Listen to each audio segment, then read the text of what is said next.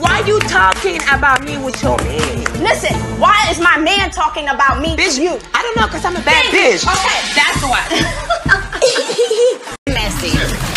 Bitch, I told you about.